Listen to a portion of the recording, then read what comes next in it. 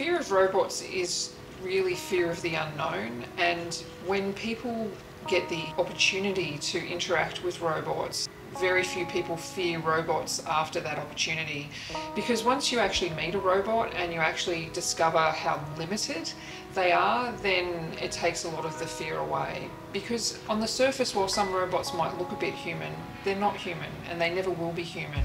And there really are very strong limitations to what they can do.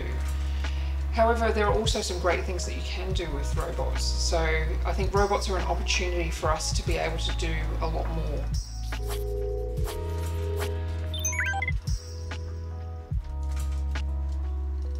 My name is Sue Keay and I was born in Newcastle in New South Wales and I now live in Brisbane. My role is currently as the Research Director for Cyber Physical Systems with CSIRO's Data 61, which encompasses robotics, sensing, cybernetics, uh, computer vision, all of the good stuff.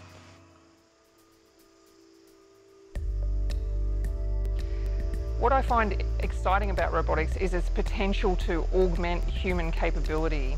There are a lot of problems that the world faces that as humans we haven't been able to solve and yet what robots do is give us an opportunity to expand what we can do so that we might be able to tackle some of those challenges. For example, uh, many people don't realise that we can apply robots to solve some environmental challenges such as sensing um, and looking around for endangered species actually remediating the environment by planting species that need to be replaced and also protecting the environment by potentially removing things like plastics from the world's oceans. So there are a number of grand challenges like that that I think with the help of robotics we will finally be in a position to help solve.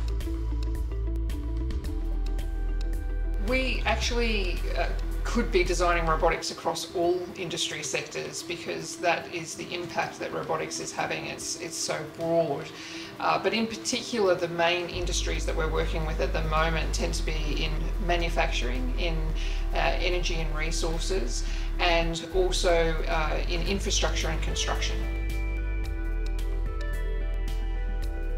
So a project that my robotics group have been working on uh, that I find really fascinating is around evolutionary robotics because a lot of our current design of robots is actually limited by humans because there are only so many things humans can imagine uh, and while we have often taken a lot of our lead in design from the animal kingdom and actually replicating uh, some of the amazing things that animals do and then trying to get robots to do the same thing, we're still limited by our observations.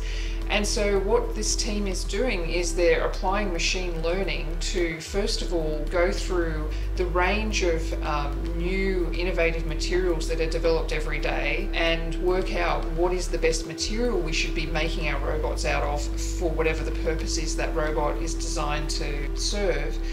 And so machine learning is um, about developing algorithms that allow robots or just computers to think in a way and learn in a way that's much more similar to humans. And that's really just how you can get a robot to operate and instead of giving it lines and lines of code to give it step-by-step -step instructions of what it should do and how it should behave, you actually get it to learn by observation and also be able to make decisions itself in front of me here is a robot leg. It doesn't really look like a leg. You wonder whether a person would have ever thought of designing a leg like this. Um, but it has been designed for a robot that walks through water. And we have multi-material printers here that allow us to prototype these things quite quickly. So then we can use machine learning to um, actually put this on a robot like we have here, and then actually try and get that leg to figure out how to walk and all of that is done by um, trial and error. We put those machine learning algorithms to the test and we figure out, well, how well did it go? In that way, we can go through a whole host of designs and we can come up with designs that people might never have thought of. So it opens up a whole range of new designs that I think will lead us to some very imaginative robots.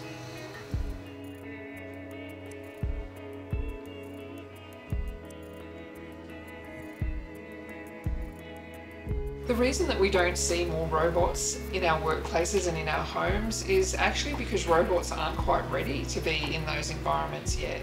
So, although we've had robots in areas like manufacturing for more than 70 years now, the reason that we have is because those environments are very structured. So you can control all of the flow of materials in and out of that environment, whereas most of our homes and workplaces are much more complicated. And one of the things that we're looking at to solve that is rather than developing robots from the ground up, how can we convert commodity products that you find commonly in your homes or in your workplaces into robots?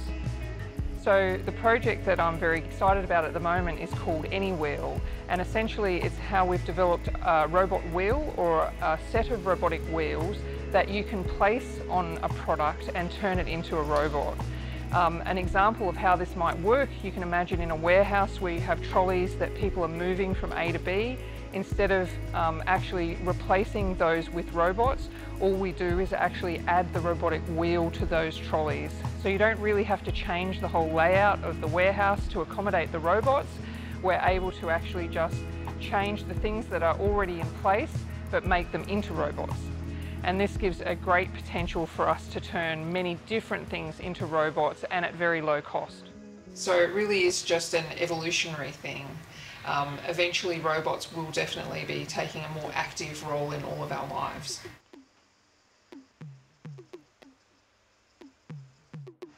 I'm on the board of Women in Robotics. At the moment there's less than 10% female participation in robotics and we think that one of the things that we need to do is support the women who are currently in the industry and also make it a more supportive environment for women who are considering entering the industry. I encourage women to get into robotics because I think that it is crucial that women actually are given some say in how a lot of these technologies are developed because I believe these technologies really are going to make a big difference to the way we live our lives and the way we conduct our business. And at the moment, with only one gender being mainly represented in the industry, that's not a very healthy mix. We risk alienating a whole generation of women from the very technologies that could actually make their lives better.